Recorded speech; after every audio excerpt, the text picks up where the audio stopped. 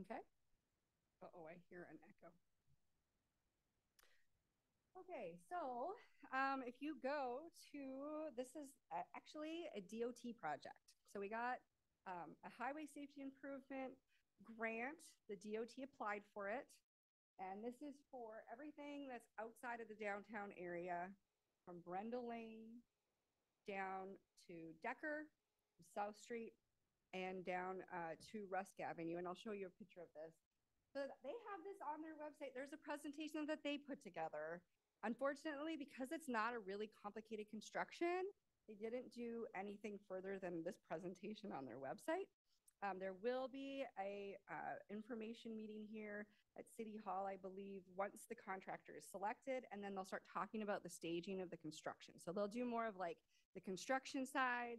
In this situation, there's not going to ever be a closure of Main Street, right? It will just be them moving from one lane to another. So if you ever want to go to the DOT website, they have their own presentation there. So like I mentioned, where this is, so we're talking all the way up Brenda Lane, which is like your tractor supply, just north of uh, Walmart there. And it goes all the way down to South Washington Avenue, and there's that gap.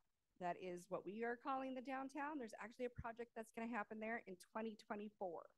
And so we've got Decker is included, or Highway 56 is included in this one. Um, but from that, just south of that to South Street is not included in this project. And this is just their other image. It's kind of hard to see. That's why I brought the other one up. But these are the cross sections from the plan. And there are also things along the wall if you wanted to take a closer look. Okay, so why did this project um, come to fruition? So Highway 14, it's our busy Main Street, right? We've got, it affects residents, visitors, everybody of all ages and abilities. It's how you get to school, it's how you access businesses, and all the other things like the hospital, the library. We all drive down Main Street. And so the DOT had analyzed a period from 2014 to 2015 or 18, excuse me. This application actually came in in 2020 originally. And then when they did that, they saw that there was 116 crashes during that period and 38 of them were rear end crashes. So that was what triggered them to make these, um, to per, apply for, because they applied internally for the money to do this work. Um, and we also, it also came from the city because we continue to hear about concerns for pedestrian crossings on Main Street. And, you know, I highlighted a few at Decker, West Broadway, downtown, pretty much every crossing. We've had some public meetings and we had one about the downtown and people got to circle dangerous intersections in town. And I think almost every intersection with Main Street was circled. And so, you know, it's just um, across the board there. So in 2023, so this year, like I said, it's going to happen after July 4th, but before August 31st. They're going to be restriping the current four lane configuration and making it into a two lane section. And what they call it is a twiddle. You'll hear that a two way left hand turn lane. So, what does that mean? So, a two way left hand turn lane means that there is a center lane in the median that allows traffic to take left hand turns that are off that main drive, right? So, there's going to be a lane that's going north and south, or going north, one that's coming south, and in the center, you're going to be able to pull out to make your left hand turn. So we're actually going from four lanes down to three. And why is that? You can, I'll go a little bit more into the twiddle, but the idea is that it actually is going to keep traffic flowing better, and then you're going to avoid some of those um, more dangerous situations where there's left hand turns or even right, people turning right. Uh, we're going to reinstall and install the rapid flashing beacons at West Broadway and Oak Street. So why I say reinstall is we already have some at the hospital, right? If you cross at Oak Street, you see those rapid flashing beacons. So we're just going to reconfigure that to meet ADA compliance, basically be in the same location, but we're also going to install one on West Broadway, and I'll talk a little bit about that in a moment. And then there also is going to be some changes at the Decker intersection and Main Street. Okay, so why a twiddle? And I realize I'm missing an L on that title. There you go. Um, so what happens when there's a two-way left-hand turn lane is that there's a redu- reduction of rear end crashes. There's no issue with left people coming behind people from a left-hand turn. So like I think about this all the time going into Culver's, right? You're driving going north and there's always people turning into Culver's and the person behind them has to stop. They often will drive around the person turning left and all of those situations are um, causing a higher hazard. So it effectively moves traffic by removing left-hand turn vehicles from the th through lane. So when you're driving down that through lane, you're not going to have to stop for people turning different directions, right or left. Um, it provides better access to side roads and driveways. Uh, it provides fewer lanes, travel lanes for pedestrians to cross. So that's another big one. So we've got the concerns with people in their cars driving and hitting other people that are driving in vehicles, but then there's also the concerns about pedestrian safety and crossing. And so in a twiddle configuration, and I'll show you an image of that shortly, you will see that the pedestrians have a chance to cross one lane at a time instead of crossing all four. And I always think about the fairgrounds crossing. That one is probably the one of the worst ones in town. So if you're crossing there, you have to look two lanes of traffic coming from the north, two lanes of traffic coming from the south before you can try to cross, or else you're going to be stuck in the middle if you're lucky. um, and then it's actually easier and safer for emergency vehicles because they're not in peak periods because they're not dealing, they can use that center lane. Um, and so this was, as I mentioned, a highway safety improvement project, and it's funded by the DOT. So the original project estimate, which there's still bids that are coming in, is at was about five hundred thousand dollars, and the city paid about sixty thousand dollars for the total project. So there's all of the construction costs are the DOT. So this is what the cross section of a twiddle looks like. You've got that center lane where you have left-hand turns that can go in either direction. And then on each side, you have a driving lane going one going north, one coming south on Main Street. And there's also that section along the side where there is no drive lane. So some images, this is a, you know, a, uh, a digital rendering, digital rendering of a uh, twiddle. So you got your two-way left-hand turn in the middle, and your drive lanes on either side. And the same thing here where you can see what how the configuration is. Uh, this is an example of the twiddle that is in Cross Plains. So I drive to Madison a lot for my daughter's hockey. And as, as I was driving, I'm thinking, there we are one of a few places on Highway 14 that actually don't have themselves set up like this. Um, and again, you, you're trying to keep the traffic moving on the two lanes going in each direction, and then the twiddle allows for those turning movements to happen. This is really hard to see, so I'm going to zoom in, but this is the section from down um, on the south end of town. So just before Rusk Avenue is where that change will happen. So it's actually outside of the city's construction limits. So just after Washington Avenue, but just before Rusk Avenue, and I'll zoom in a little bit closer so you can see.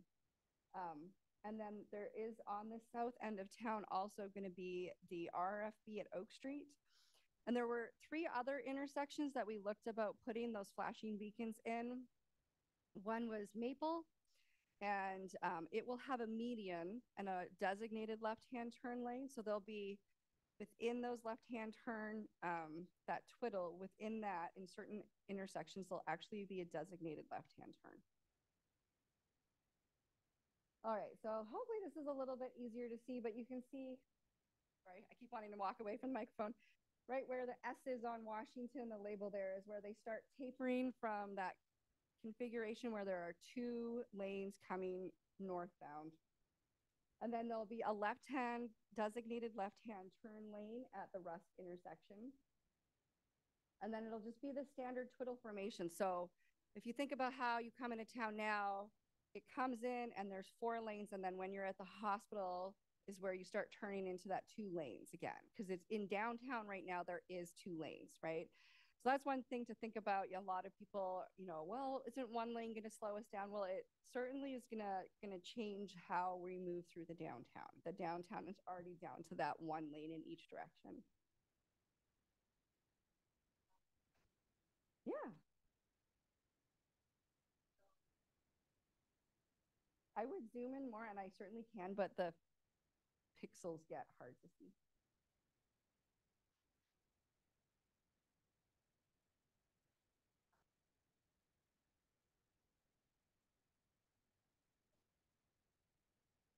Yeah, there's a left-hand turn lane. There's, this one goes to like FS Drive. Yeah. And so if you're turning from Rusk Avenue and you're going south, the benefit to you here is that you don't have two lanes coming at you coming from the south. You'll have a single lane coming from the south and you'll also have a single lane coming from the north.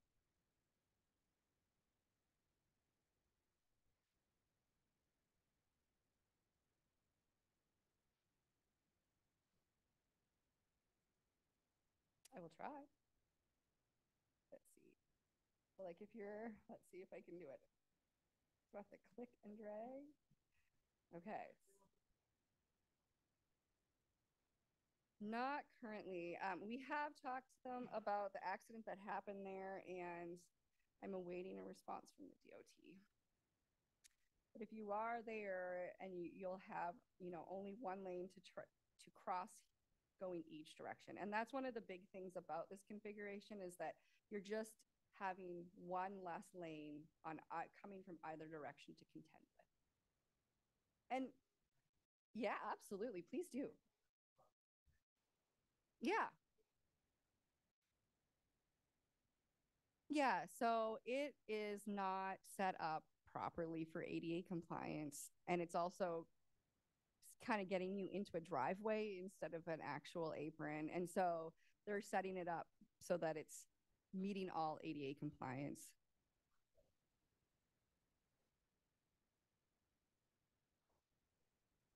Mm-hmm. Um, yeah, we are going to stick with the same setup that we have there, which is that like de- it detects you when you go into the crosswalk.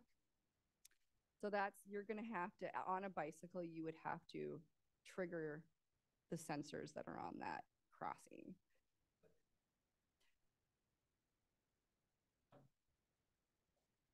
Oh, absolutely. Okay. So the question was that time, um, if you were on a bicycle and you were on the west side of Main Street and you're crossing at Oak, is there a button for the bicycles to press when you're crossing? And so the way that that crossing is currently set up is it's actually a sensor.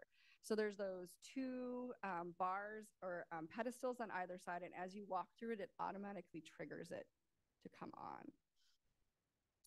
Um, and we're not doing that on the one on the north. Um, the hospital had paid additional funds to get that sensor put in, hoping that it would be used more. And so we're leaving it as is, but the other one will be a button that you press, the one that will be at Broadway. Uh, it will be, you would have to go on the sidewalk. Yeah.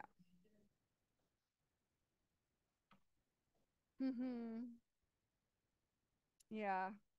Yeah, um, it's about having like designated bike lanes and having a spot to press, which um, we actually have a planning grant that we received from the DOT that we're anxiously awaiting their approval of all our contracts to get started. And that would be great input to have because um, what we're trying to do is we're trying to figure out where bicycle and pedestrian accommodations should be in the city. And so those are the kinds of things that we can build into the plan if that's what you know people are recommending and then apply for those for other grants. Yeah. Yeah. Mm-hmm. Yeah, absolutely. Right. Well, the city is the one that's responsible for the RRFBs. It's not, that was one of that. So that $60,000, about 40,000 of that is specifically related to us paying for those RRFBs. And so um, we have a bit more control there. So I will certainly look into it further. Yeah. All right. Let's see. Oh, can I? I'm wondering, oh, if my annotation button has stopped me from being able to change my slide. Whoa. There we go.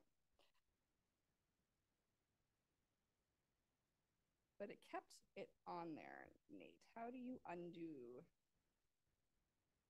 Oh, okay. All right, learning as we go.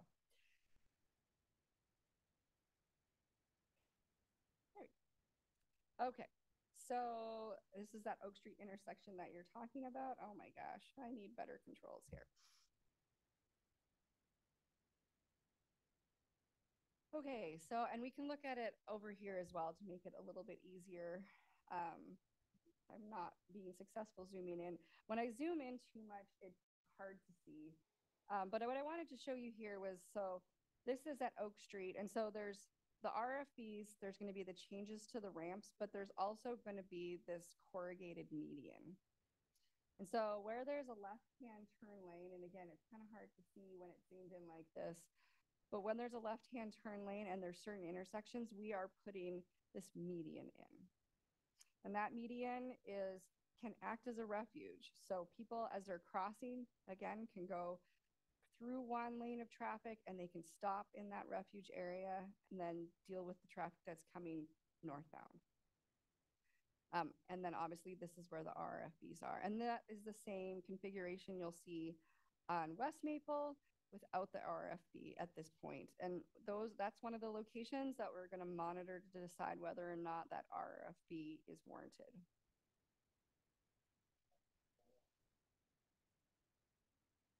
Like how long it's on. Yeah.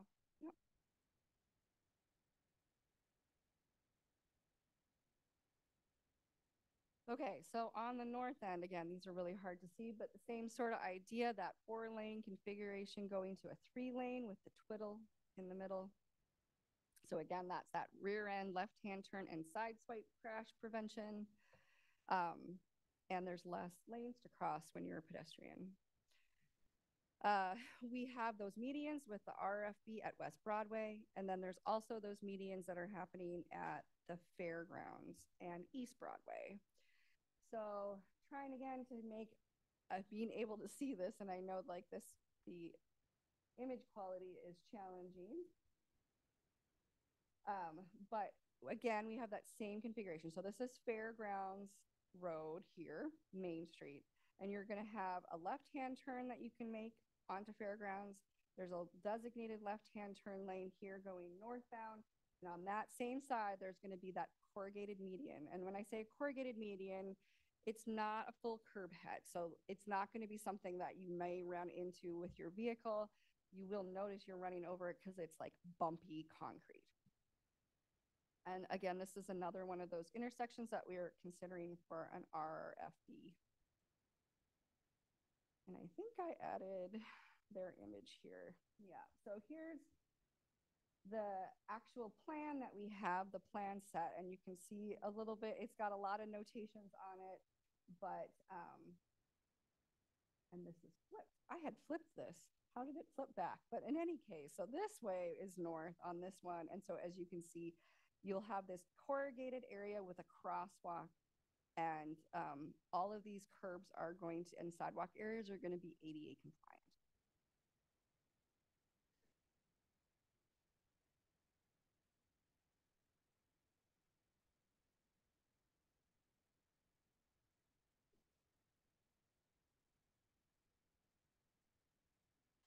It's not intended as a refuge for a car. Um, probably could make that movement, but that's not what it's intended for.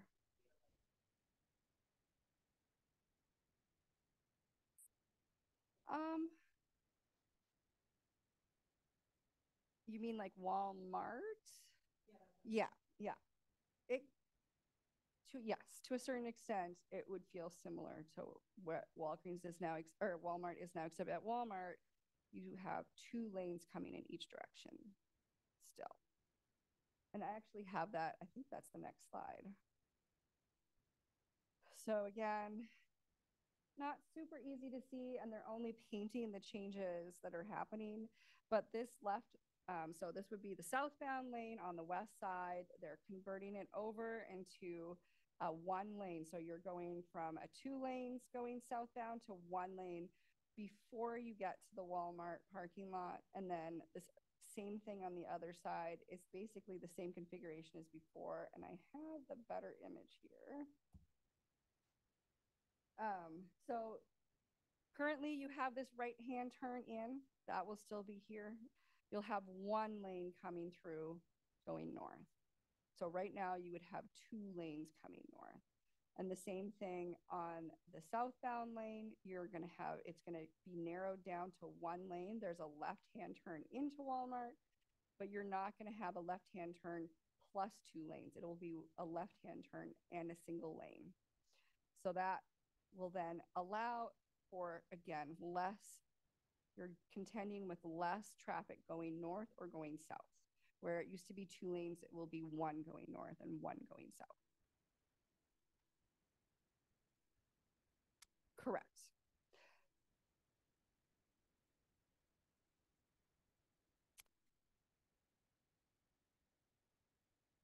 You, it will, it should hopefully not have people sideswiping, and that's, um, you know, obviously an enforcement side issue. Um, we don't want to lose pavement, so they're not, you know, narrowing it down. That would be the other alternative, right?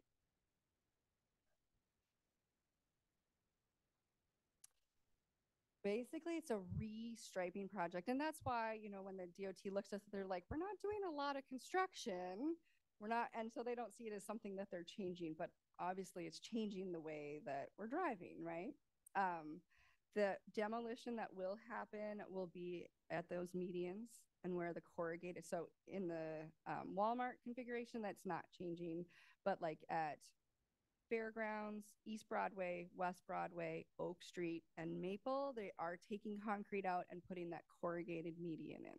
But it's not um, changing the general lane.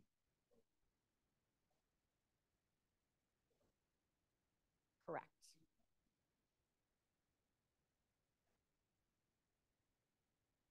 Yeah. Well, it's not being labeled as a bike lane, but clearly there's more space for people. Um, and then it's also available for people turning, turning right, right? And so it's not a full lane, it's only four feet, but it's giving more space for people to get out of the way. Uh, that was a council decision that was made when we first started talking about it. Um, you could always ask for that to be different. um, but that was the decision that was made, um, not designating it less paint, less concern about, you know, it while it is space, it's still not the friendliest road to be biking on. Yeah.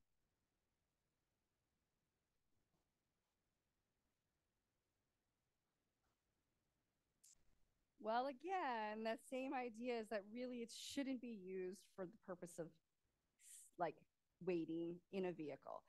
Um, but yeah, it's I have done that myself. but it isn't, it's not intended. Even now, it's not intended for a place of refuge. Um, but again, the benefit here would be that instead of seeing having to make sure you're crossing two lanes coming at you from the south, you'll only have one, and then you'll have that single lane going left.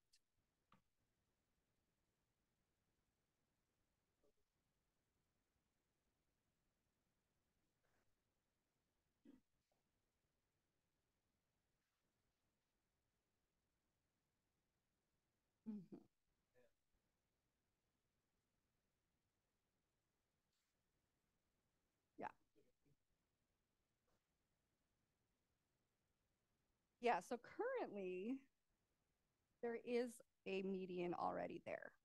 right? There is a, a median right here in the middle because it just north of here is actually a five lane twiddle, right? So there's that center lane. You can turn left either direction, although there's not a lot to turn into, right? Maybe um, the Food Enterprise Center. Uh, but there is concrete here already and on both sides, and they're not taking that out. They're leaving that there. So they're showing, like this image is showing what they are painting. And so the, these markings will be new, but there will, they're not taking the medians out that are currently existing there right now. So let's see. I guess you can't really see it in the aerial photo very well, but there are, there are medians that exist there now um, that will not be taken out. That will be staying the way they are.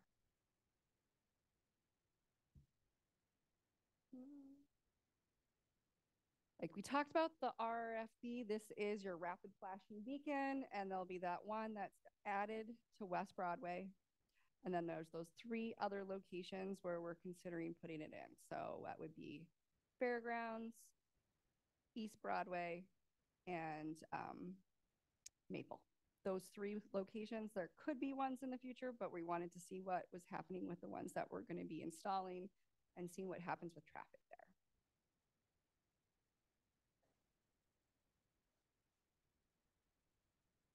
Correct. Yeah. So of all of these things, um, you know, we were certainly obviously consulted along the way, but that it is a DOT design that's changing. Mm-hmm.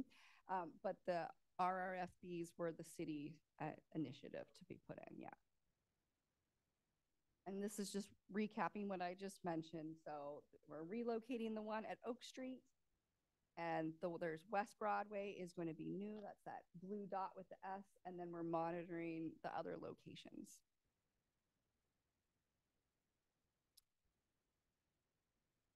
Um, and so the West Broadway, East Broadway intersections, just looking at a little bit closer here. Okay, so north we're going, goes towards this direction or this direction for you. Sorry, it's different on my screen. Um, and we're gonna have designated left-hand turn lanes going onto West Broadway, we're going to have the rapid flashing beacon. We're going to have the median, the corrugated median. And there's the two-way left-hand turn lane. There's a short section going to be in the middle. And then there's going to be another designated left-hand turn lane onto East Broadway, the crosswalks, and the corrugated medians in the center. So really the twiddle in this, like the way that it has it configured in the center here, you know, that's the consistent theme throughout the cross section. But then when you get to these key intersections or there are going to be pedestrian crossings, that's when you see a designated left-hand turn lane, the corrugated medians, and the crosswalks. And those crosswalks are changing slightly. They're making sure they're all ADA compliant. I believe it's all yellow. Like they've colored it yellow where it's going to be yellow and white where it's going to be white. Yes.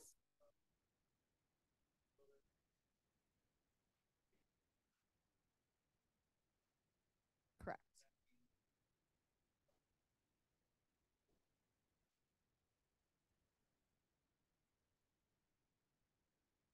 Uh, there will not be one on the middle. And the reason being is that if there was an emergency vehicle that needed to come through, that they wouldn't be hitting a post, right?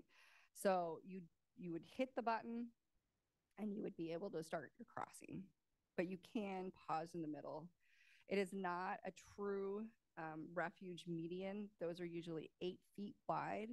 And so that may have a button in those situations, but there was a choice not to have a button in the middle, partially because we just didn't have the space in the roadway. And I keep forgetting to repeat the questions. So I'm sorry.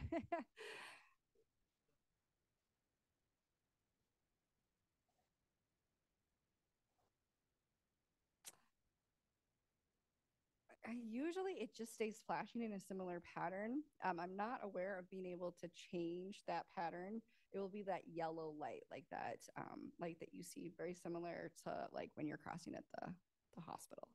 Mm-hmm.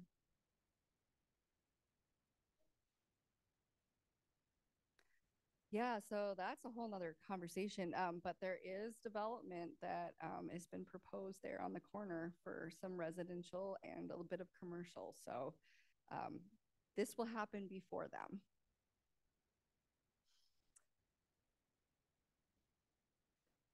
Yeah, I think the intention is to clear up that sight triangle because it is really bad.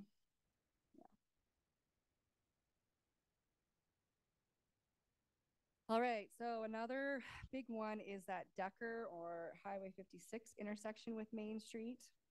So there is going to be a number of changes there, including bump outs.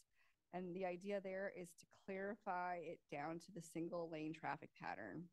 So I know that seems really odd because as most people drive in Viroqua, we drive as if there's a right-hand turn lane there, but there is not a right-hand turn lane. That's just how our traffic flows which certainly adds to the complexity of the intersection, right? I think that's one of the main um, issues with the safety of that intersection is just how complex, how many things are happening at the same time. Um, so we're going to talk about that one a little bit here as well. Um, so here's the intersection proposal or as it's being designed. I think a couple of the key things is on nor- on Main Street going north or south, the intersection's going to be the same. So right now, there's not a designated right-hand turn lane going north. It's designated turning left, but it's also going straight, right? Whereas when you're coming south, you can only turn left. So those now are going to mirror each other. Again, sort of that simplification of the intersection. Um, we've got these bump out sections here. So this is the old City Hall building. There's not anything that's changing here um, at the time, and it's still, you know, we're we're not um, we don't know the fate of that intersection yet. Um, but this is like the old opera house, the Mr. G's corner, um, and this, um, I guess, I don't even know what the good reference there is. Um, this has that apartment building on the corner here. So that would be north going this way, south going this way. So these bump outs are here to drive traffic into that single lane. And not only does it make that single lane happen, but it also forces the trucks to turn a wider radius. So for those of you who are familiar with the high number of traffic signal knockdowns that we have, a lot of that has to do with we're giving the trucks a really hard turn to make. Like it's just we're we're setting them up for failure to be from the beginning, right? Um, so there's also another couple things related to the trucks there. Uh, you can see how the straight lanes, the left-hand turn lane and the through lane are staggered.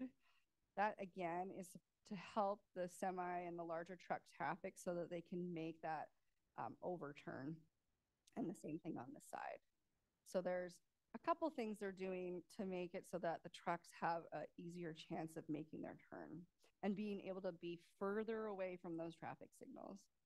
So obviously changing it down to a single lane going east and west is making things different and possibly more congested.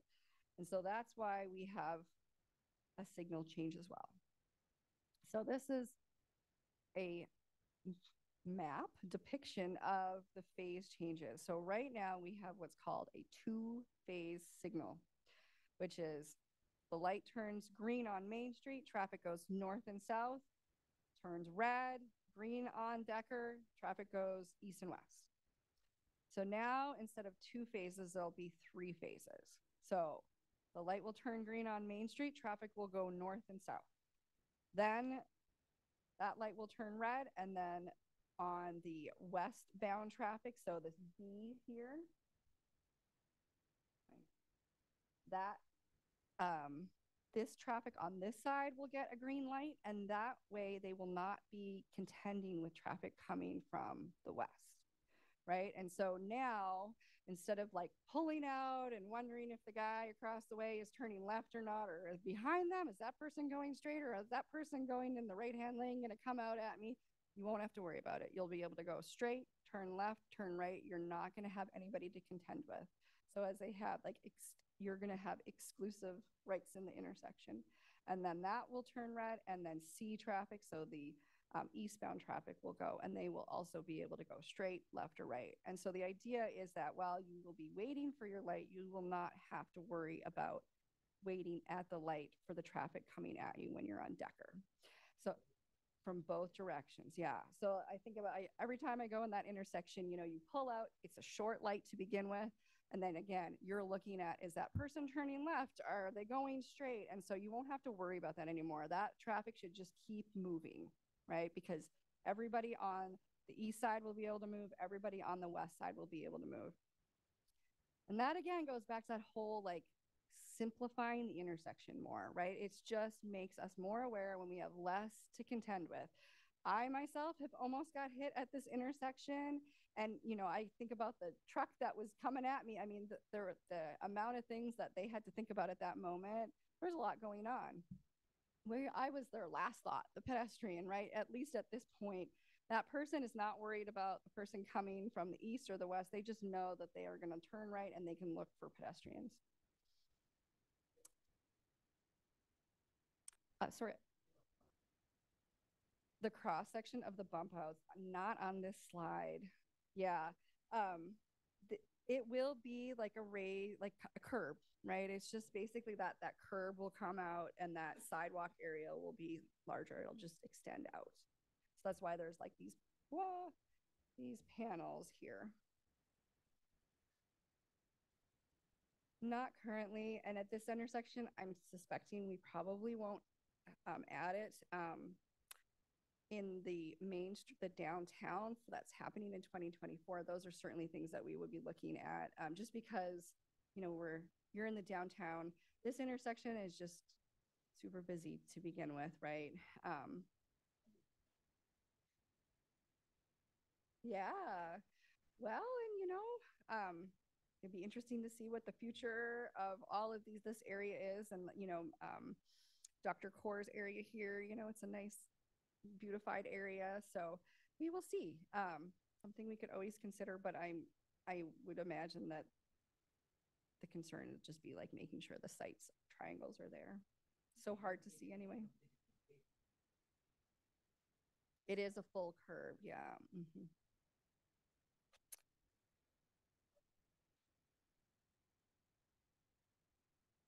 I was just thinking about that the other day is like how I believe that you will not be able to turn right on red when there are people coming when you're yeah, when right. Already. Yeah, I'm not exactly sure what happened. They talked about it and then it didn't come forward. Um, but we certainly did talk about that at one point in time, that no right on red on the Decker side.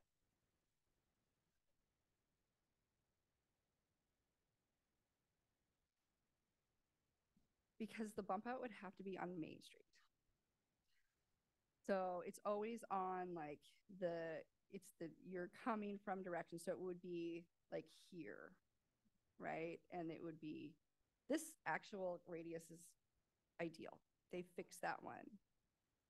Yeah, but well, it, it looks like it's coming, but this is matching in with the sidewalk that already exists on Main Street.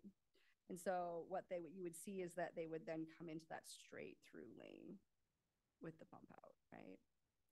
And so they did not do any, they're not putting any of those extra sidewalk sections into Main Street.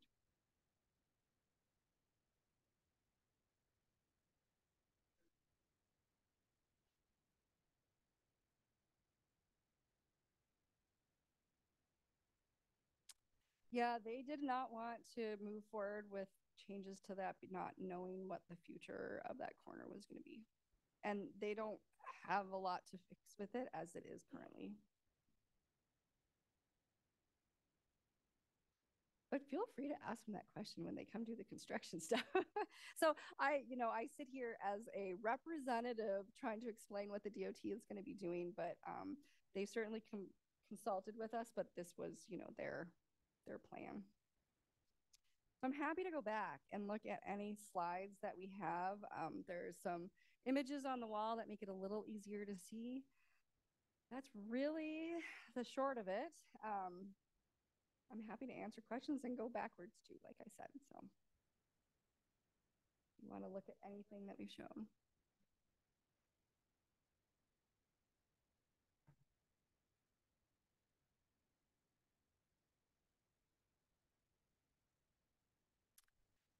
Well, so the way that the DOT did their feedback for the project was that anybody that was like what they deemed affected by directly were sent a postcard. And the postcard showed them the presentation, how to get to the presentation, and that then they were expecting feedback that way. Um, I believe they didn't get anything.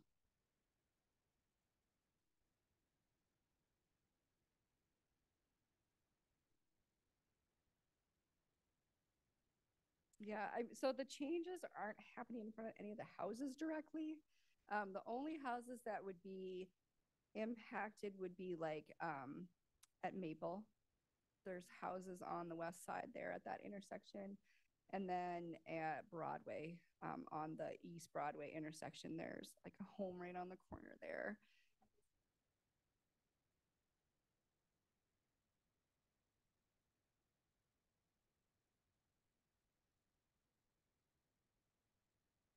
Mhm. Yeah, there'll be less of a drive. They'll like be forfeit less of that space. Mhm. Yeah. Right. Yeah. The idea is that it hopefully will be easier to enter, but yeah, that section is challenging. I mean, it is going to be different for them.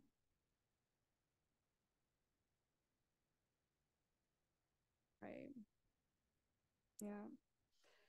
Yeah. Um, I think that, you know, I think a lot about that section. I think some of the benefit that's realized is kind of undone by the changes that are happening there, right? Like people are rushing because now they're merging right at the hospital. And there's a lot going on with that as well that, you know, doesn't make it easy. Like even the turning left into the hospital there um, that's really challenging for people because now you're stopped and there's only one lane of traffic. So people are, are driving into the area they're not supposed to. It kind of encourages them to do it probably more than they do anywhere else, right? Like on that um, no driving area. Yeah.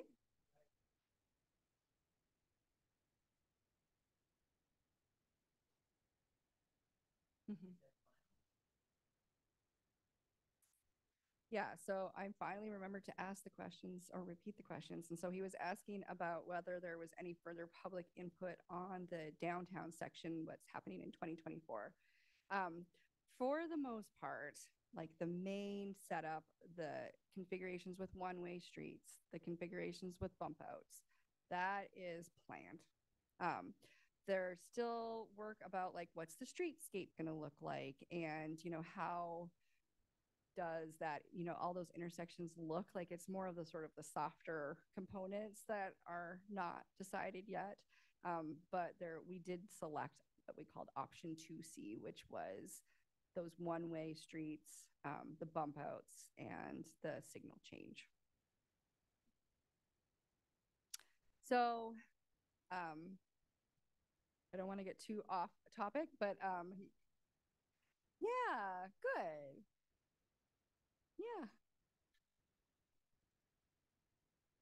Right.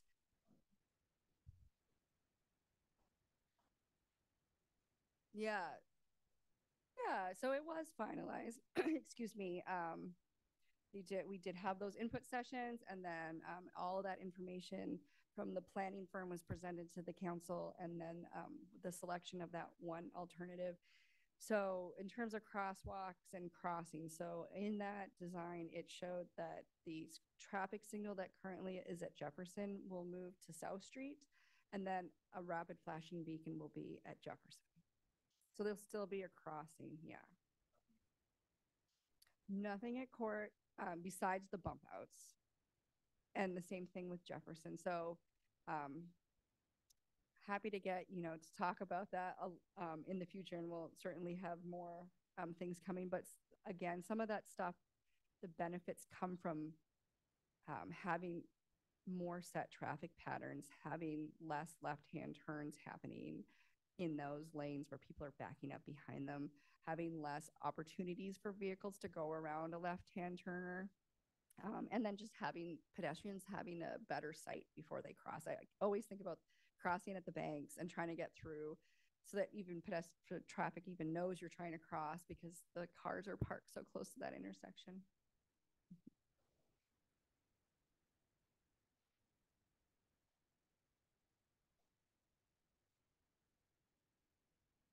Yeah, good point.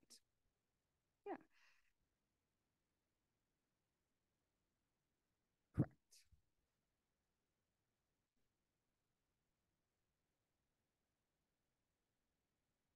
You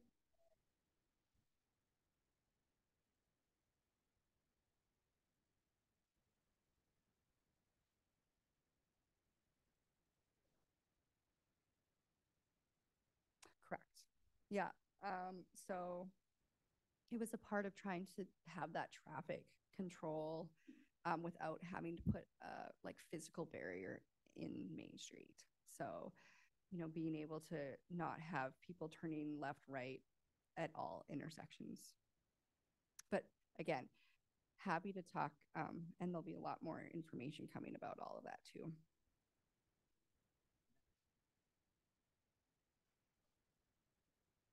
The option was selected, yes. Mhm.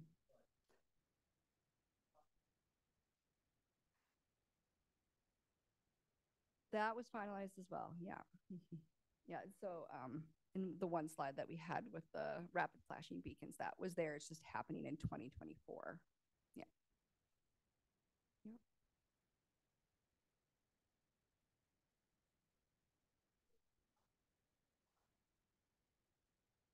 Right, that is still what we're working on. Mhm. How that is all gonna look. And that was certainly a big component of that, that placemaking. Um, the parts that we needed to determine at last year um, were just like knowing where the crossings were. So you would, I was doing a DOT seminar today and they say like 256 days per intersection you should be giving for a project. And so those kinds of things had to be decided so that they could start doing the work they needed to there. Yeah. But um, the DOT isn't involved in our landscaping and so that, you know, has time.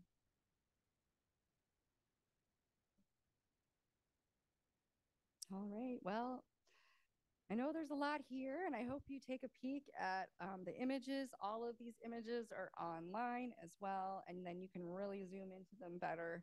Um, the quality is obviously better on a screen than it is on the projector here. Um, the DOT is going to have meetings about construction and how they're sequencing it. Um, and so hopefully that will happen in the next month before they get going, which is planned currently for after July 4th. I sure hope so. I will get a handle on what that is and also um, make sure that gets advertised. Oh, absolutely. Sorry. So yeah, this is how to get a hold of me as well. Um, you can call the office, you can email me. Um, this information is on our website. And I will say the DOT does do a nice job of the construction website. So if you go to um, the DOT website right now, you can find that presentation that I showed you at the very beginning. Um, but they have that 511 website that's about all the construction information that says like what days they are, where they're going to be. Um, they actually do a really good job of that part. So um, hopefully they'll be sharing all that information when they do their meeting. All right. Well, thank you very much.